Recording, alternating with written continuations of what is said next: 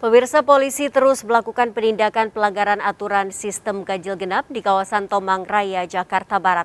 Kebijakan ini hanya berlaku dari hari Senin hingga Jumat, tidak berlaku pada hari Sabtu, Minggu, atau hari libur nasional. Pemirsa hari ini merupakan hari kedua Direktorat Lalu Lintas Polda Metro Jaya memperlakukan sanksi tilang bagi para pelanggar sistem ganjil genap di 13 ruas jalan yang ada di Jakarta.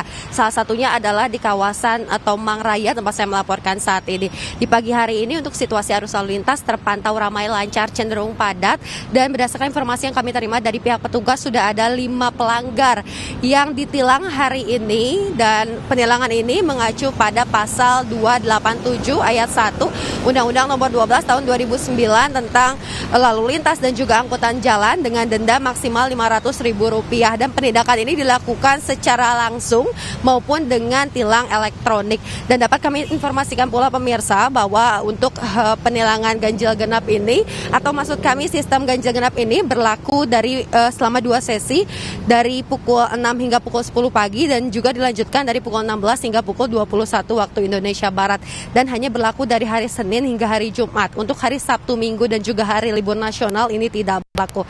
Dari Jakarta, Rani News melaporkan.